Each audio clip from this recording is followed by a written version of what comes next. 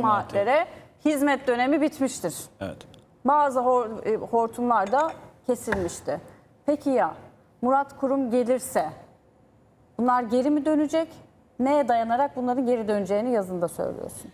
Geri dönecek mi? Ben de onu soru, sorguluyorum aslında. Çünkü e, Ekrem İmamoğlu'nun 5 yıllık yönetimi içerisinde yapmış olduğu yegane şeylerden birisi e, tarikat ve cemaat adı altında örgütlenen ve kendilerine vakıf dernek diyen bu yapılanmaların onların adına tahsis edilen bazı kamu taşınmazları var. Bunlar nelerdi? Binalar, arsalar, kültür merkezleri, Aynı zamanda maddi yardımlar.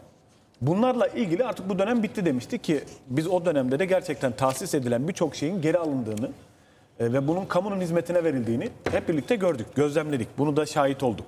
Şimdi bu, bu sürecin içerisinde ise tabii ki İstanbul Büyükşehir Belediyesi e, el değiştirdikten sonra bu tür vakıf ve dernekler artık istediklerini İstanbul Büyükşehir Belediyesi'nden alamamaya başladı. Dolayısıyla da başka kanallar aradılar. Bu kanalları da nerede buldular? Çevre Şehircilik Bakanlığı'nın ilgili kurumlarından buldular. Şöyle alayım seni istersen. Bunlar neler? Şimdi ilk başta çok uzağa gitmeye gerek yok. Bakın size Çevre Şehircilik Bakanlığı'nın 10 yıllık karnesinde bu tür vakıf ve derneklere neler verdiklerini anlatmıyorum. Sadece 2023 yılının son aylarında neler yaptıklarını sadece Çevre Şehircilik Bakanlığı il müdürlüklerinden tahsis edilen birkaç tane örnek vereceğim sadece. Başakşehir'de hazineye ait 14.300 metrekare arazi, 14.300 metre, 14.305 metrekare arazi e, ücretsiz şekilde tahsis edildi. Kime tahsis edildi? İlim Yayma Cemiyeti'ne tahsis edildi. Ne için tahsis edildi? Öğrenci yurdu için, eğitim için. Peki İstanbul'daki öğrencilerin yaşadığı en büyük sorun ne? Barınma sorunu. Yurt yok. Yurtlar yeterli değil. Devlet yurtları yeterli değil. Kimin elinde yurtlar? Tarikatların, cemaatlerin, derneklerin, özel şirketlerin. Özel şirketleri anlarım. Ticaret yapıyorlar ve oradan isteğe bağlı olarak, kişinin isteğine bağlı olarak parası olan gidip kalabiliyor. Ama mecburiyetten gidip kalanlar da var. Dernek, vakıf, cemaatlerse 49 yıllığına 14 dönüm araziyi alıp üzerine yurt yapıp ücretsiz şekilde o yurttan sanki ücretsiz hizmet verecekmiş gibi davranarak öğrencilerden para tahsilatı yapacak. İBB'den alamıyor. Kimden alıyor? Hazine arazisini Çevre Şehircilik Bakanlığı'ndan. Başka kimden kim kime tahsis ediliyor? Arnavutköy'de yine Ya hazineye 49 ait yıllığına akıl alır gibi. 49 değil. yıllığına, 49 ücretsiz. yıllığına. 1 lira ücret vermiyor. Arnavutköy'de yine hazineye ait 17.900 metre yani 18 dönüm arkadaşlar. 18 dönüm. Ya dehşet bir büyüklük bu. 17.900 metrekare arsa 49 yıllığına yine ücretsiz tahsis ediliyor. Kime tahsis ediliyor? Hayrat Uluslararası Öğrenci Derneği'ne. Hayrat Uluslararası Öğrenci Derneği'ne 49 yıllığına. Niçin? Eğitim öğretim içinmiş. Ya bu, bu kadar arazimiz varsa Gençlik Spor Bakanlığı niye yurt yapmıyor? Öğrencilere niye yurt yapmıyor arkadaş? Evsiz insanlara, evi olmayan insanlara, kirada sürülen insanlara niye ev yapmıyorsunuz o zaman? Ev yapacak kurumlara niye vermiyorsunuz? Belediye verin, belediye yapsın bu yurtları. Değil mi? Hayır, bu vakıflara, bu dinci vakıflara veriliyor. Başka? Bakırköy, Şenlikköy'de hazır kurulmuş bir arazi var. Toplamı 8419 metrekare. Üzerinde ne var? Yurt var. 925 metrekare öğrenci yurdu var. 625 metrekare kültür merkezi var. Cami var. Yeşil alan var. Bunu nereye tahsis ediyorlar? TÜGVA'ya. TÜGVA'yı söyleyelim. TÜGVA'nın Türkiye Gençlik. Cumhurbaşkanı Erdoğan'ın oğlunun Ee, yönetim kurulunda olduğu Bilal, Bilal Evet, Erdoğan'ın mütevelli heyetinde e, Cumhurbaşkanı'nın oğlu Bilal Erdoğan'ın olduğu e, vakıf. Aynı zaman zamanda bu vakfın yönetimi de sadece Bilal Erdoğan yok. Şu anda mesela Esenler Belediye Başkanı var. Birçok AKP'li isim var. Ve e, bu sadece AKP'nin gençlik kolları gibi hareket eden vakıf diye nitelendiriliyor. Dernek diye ve nitelendiriliyor. devlette de kadrolaşıyorlar deli gibi. Evet. Bununla ilgili zaten çok fazla da yayın yapmıştık biz. Şimdi buradaki e, tahsis içinde izin veriliyor. Ya niye? Öyle ya geçtim belediyeye. Belediye tahsis edilmesin. Ya spor bakanlığına verilir, öğrenci yurdu yapılır. Yurt yok diyorum öğrencilere ya. En büyük sorun bu değil mi? Bunu kucağına itiliyor. Peki başka biliyorsunuz ki yine haberini yapmıştık ve anlatmıştık. Yassıada kiraya verildi Evet. milyarlarca TL masraf yapılan İstanbul'un göz bebeği gibi olacak bir yer. Demokrasi adası yapıldı orası. Bir anı, anı, anı e, bir anının yaşatılması istendi orada. O dönemki e, yaşananların e, bütün insanlara anlatılması istendi ve ölümsüzleştirilmek istenildi. Orada demokrasi adası yapıldı. Sonrasında orada yapılan yatırımlardan sonra oranın işletilemediği görüldü. Zarar edildiği görüldü. Boş kaldı, bomboştu yani. Bomboş kaldı. Kiraya verildi. Ya kiraya verilen alan 114 bin metrekare bir alanı var. Ve bu alanın içerisinde 5 yıldızlı otel var. 400 küsur yataklı 5 yıldızlı otel var. Kongre salonu var. Kültür merkezi var. Lokantalar var. İnanılmaz büyük bir yapı. Gerçekten bak devasa bir yapı. Bu yapı aylık 360 bin liraya kiraya verildi. Kime? Yeni Şafak grubuna. Aylık 360 bin TL'ye. Ya deyin ki bu ülkede herhangi bir holdingin grubuna aylık 360 bin TL'ye böyle bir yerimiz var. E, alır mısınız diye ya da kiralar mısınız diye. Bakın yapacakları ayda bir kongreyle buradaki masrafın tamamını çıkarırlar. Ve bunun 5 katı para kazandırırlar. 5 katı para kazandırırlar. Şimdi geliyoruz diğer kısma. Tabii ki bunların hepsinin belgeleri burada. Çevre Şehircilik Bakanlığı imzalı. Tahsis belgelerinin hepsi burada. Bu az önce anlattıklarının Tabii anlattıklarımın belgeleri bunlar. Resmi belgeleri bunlar. Şimdi tekrardan dönüp baktığımız zaman Ilıç'ta hala 9 tane işçi, emekçi toprak altında. Naaşlarına ulaşılamadı hala. Bulunamadı. Ve buranın bu felaketi yaşayacağı oradaki yurtseverler, bilim insanları, oradaki çevreciler, siyasetçiler, bütün herkes tarafından bağıra bağıra ikaz edilerek birilerinin gözüne sokulmaya çalışıldı. Dinlenilmedi. Var olan kapasite yetmezmiş gibi kapasite arttırılarak bugünkü yaşadığımız facianın sorumlusu oldular. E kimin imzası var? Murat Kurum. Çevre Şehircilik Bakanlığı'nda Murat Kurum. Peki daha öncesine gidelim. Bakın çok uzak tarihlere gitmiyorum. Sadece 2023 yılında kalıyorum ya. Daha öncekilere gitmiyorum. Mesela yine geçmiş dönemlerde yapılan bizim imar affı dediğimiz ama iktidar mensuplarının imar affı değil, imar barışı diye nitelendirdiği ve e, kaçak yapıları, ruhsata aykırı yapıların e, yeni ruhsat alarak normalleştirildiği, legalleştirildiği bir süreç yaşadık imar yasasında. Bu yasa çıktı, reklam filmleri yapıldı, işte milyonlarca insanın sorununu çözdük, artık bundan sonra kaçak yapı olmayacak, şu olmayacak, bu olmayacak diye reklamlar yapıldı. 6 Şubat depremi oldu. 6 Şubat depremi olduktan sonra herkesin gözü de buradaki rakamlara çevrildi. Sayın Murat Kurum yapmış olduğu açıklamada diyor ki 7 milyon adet bağımsız bölüme yapı kayıt belgesi verdik diyor. 7 milyon bağımsız bölüme. Bunun diyor 5 milyon 848 bini de konutlara ait. 5 milyon 848 bin. Şimdi buradaki e, sorun şu biz diyor imar affı getirmedik diyor. İmar barışı getirdik diyor. Şimdi imar barışı dediği zamansa işte ruhsata aykırı yapıyı aslında düzelttik diyor. Ruhsata aykırı yapı ne demek? Var olan bir ruhsatın içerisinde kaçak yapıların yapıldığı demek.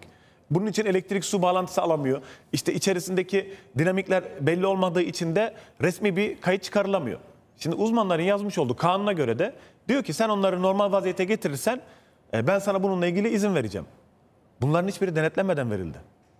Bir olayın üstü kapatılmaya çalışıldı. O sürecin. Yapıldı. Kamil Okyay Sındır e, Sayın Murat Kurum'a cevaplaması için soru önergesi veriyor ve soru önergesinde sonra diyor ki deprem olan bölgelerde kaç tane bu şekilde imar barışıyla barış sağlanan konut var diye soruyor. Sayın Bakan Malatya'da toplam 22.329 adet yapı kayıt belgesinin düzenlendiğini, e, Maraş'ta 144.566 ki Cumhurbaşkanı da bunu yerel seçimlerdeki mitinglerde söylüyor. Diyor ki Kahramanmaraş'ta imar barışıyla 144.566, Hatay'da 205.000 Hataylı'nın sorununu çözdük. Sayın Cumhurbaşkanı söylüyor mitinglerde de. Ve 6, 6 Şubat depreminin etkilediği 10 ilde Hatay'da 56.464, Maraş'ta 39.058, toplam 294.000 tane kaçak yapı o imar barışıyla birlikte legal hale getirildi. Peki orada kaç vatandaşımız öldü? 53.537 yurttaşımız öldü. Resmi rakamlara. göre. Resmi rakamında.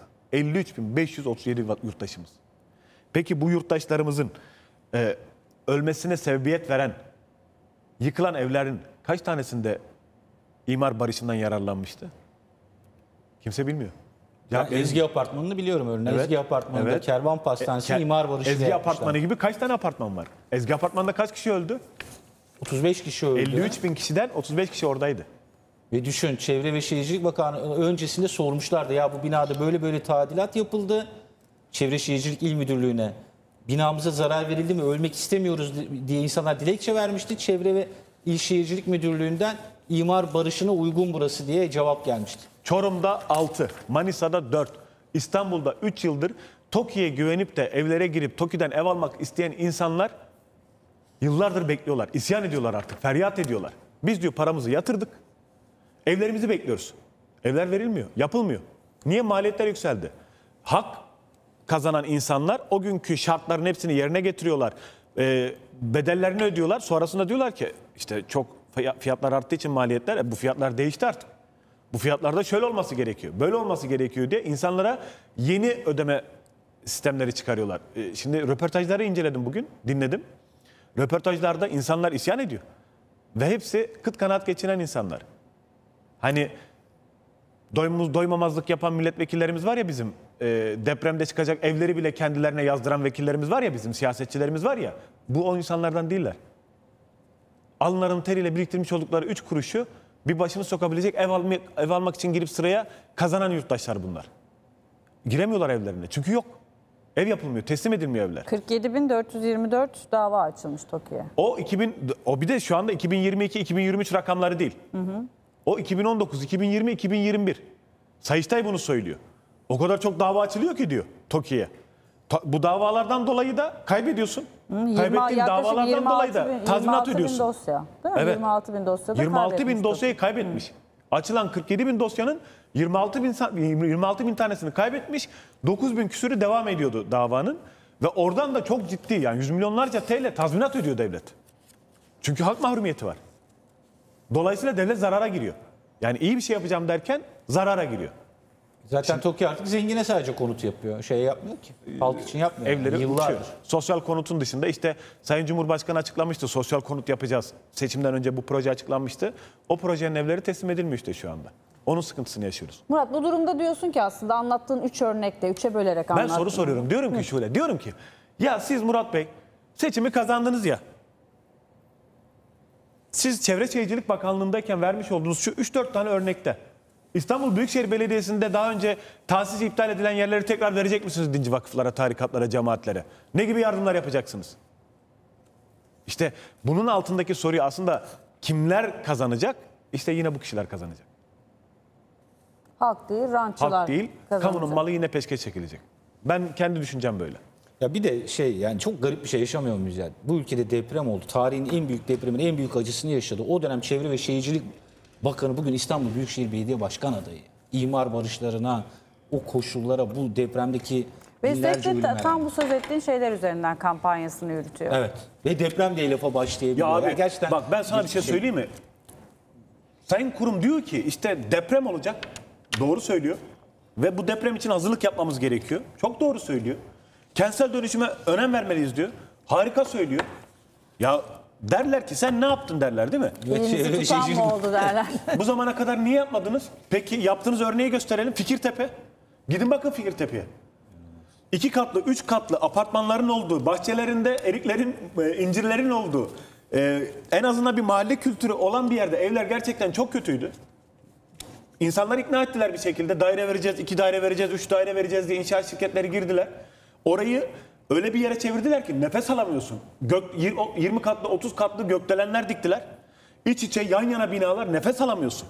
Bak nefes alamıyorsun. Ya bırakın Buna siz dönüşüm deniyor. Kentsel Bir dönüşüm. apartmanın bir apartmanın belirli bir katından karşı taraftaki apartmanın katına el sallasan ya da selam versen duyulacak. Hapşırıyorsun karşıdaki sana hoş- o- çok yaşa diyor. Bu kadar yakınlar birbirlerine. Ve içerisinde insana dair hiçbir şey yok. Yeşillik yok, park yok, alan yok. Gidin de kentsel dönüşüm neymiş bakın. Bir de dolandırılan insanların çığlığını duyun. Tabii bir de o var. Ya tabii. Çünkü insanı dairesini alamadı yani. Murat e, teşekkür ederiz. Emeğine sağlık. E, bu devam edecek bir süreç zaten. Şimdi Bu hangisini elindeki isterim? dosyayı alabilir miyim? Bende yok yok da onu, Yani- onu işaret ediyorum. Eğer Kendi kentsel dosyan dönüşüm, gibi alabilirsin. kentsel dönüşüm dedikleri Fikirtepe'deki ransal dönüşüm gibi olacaksa